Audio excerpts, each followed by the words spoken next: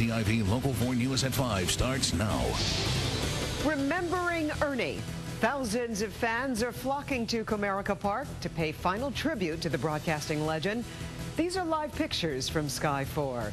And true to Ernie's selfless spirit that always put others first, we've learned that Harwell actually helped set up today's emotional memorial service.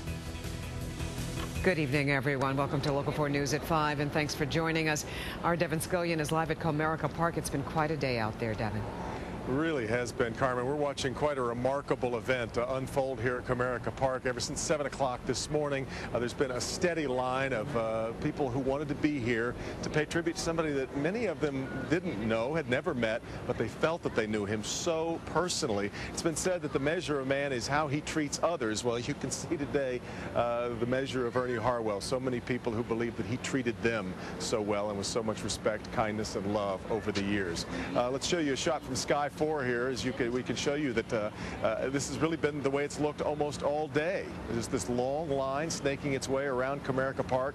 We've talked to people coming from uh, not just all over southeast Michigan, but from all over the state. Uh, we heard earlier from a man who came uh, from Traverse City, felt that he just had to be here today uh, to be a part of this. Of course, they're making their way past his casket inside.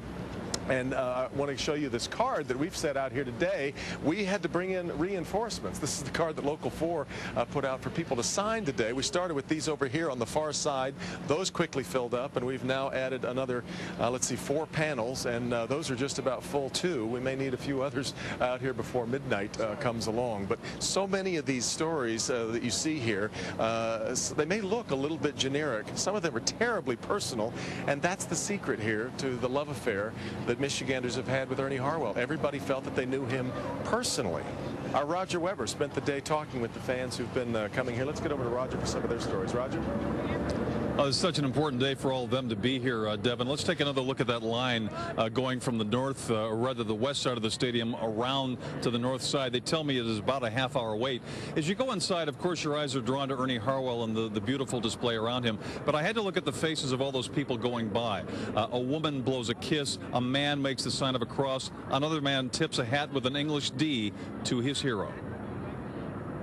It's unbelievable that he's that he's gone. Ernie's fans cherished his values as well as his voice. They would not have missed the chance to shed some tears and say goodbye. Listened to him ever since I was a little guy. I am the kid. I am the kid with the tra transistor radio under my pillow.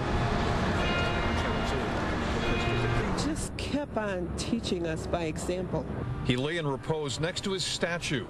Photographs flanked the casket where an American flag honored this former Marine.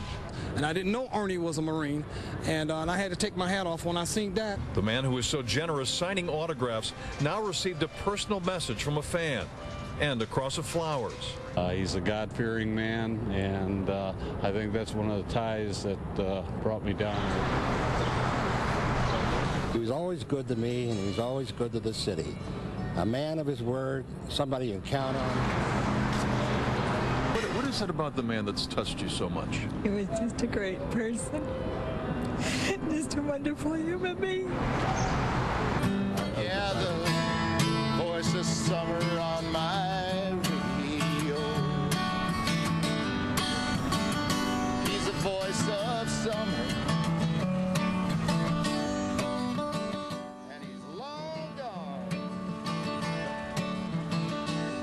summer. Ernie Harwell did not want a public memorial because he didn't want to put his wife Lulu through that. He helped plan uh, today, and it has been the perfect farewell. Devin, back to you. And in fact, uh, we've uh, obviously been focusing so much on the stories of people's childhoods growing up with Ernie, but it also has been allowing us, Roger, to think more about Ernie's growing up and his childhood, too. One of the stories I love was he's a kid. He's uh, cheering for the Atlanta Crackers, the baseball team down in Atlanta. The Yankees are at spring training. They come up to play an exhibition game.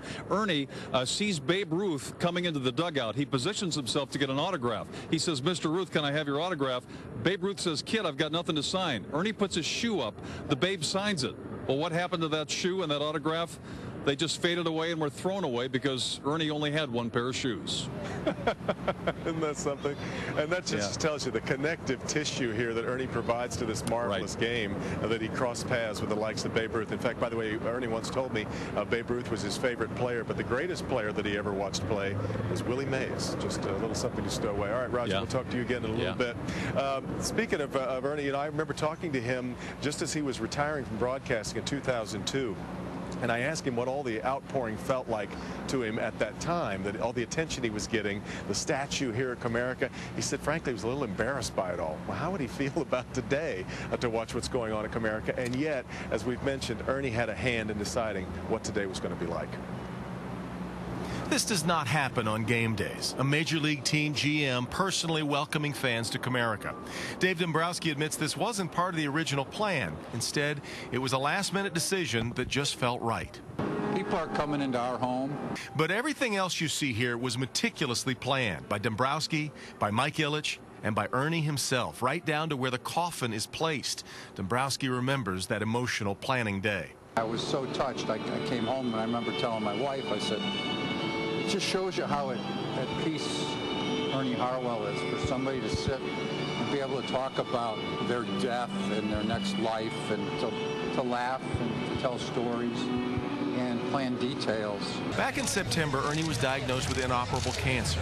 He knew the end was near, and Ernie continued to greet life with a warm embrace. Basically, Ernie had an involvement in, in all of this. As people from across the state say their final farewells, Dombrowski says the message is the same. They basically uh, continued to tell me just how special he was to them in their lives. A broadcaster who became something more to the millions who listen, the voice of summer. And for that reason, of course, people still continue to come here down to Comerica Park. We'll take another shot here of the uh, of the sympathy cards that we've placed out here that people continue to put their own memories, their own stamp on, uh, their own thoughts. Uh, just reading them over. Keep broadcasting for the Angels. We'll be listening. God bless. From Hal, 68 fan, it says. Ernie, you'll always be the voice of the Tigers. God bless you. God bless Detroit with Ernie thanks for everything. So we'll continue to watch uh, the scene unfold here at Comerica. By the way, if you are planning on coming down, uh, they will stop the line at midnight. If you're already in line at midnight, they will then allow you to come on in and uh, pass through to pay your respects, but you do need to be in line uh, by midnight. Carmen, back to you. All right, and that may be good news for those who are probably deciding now that they want to come. Thank you, Devin. Exactly if right. You, if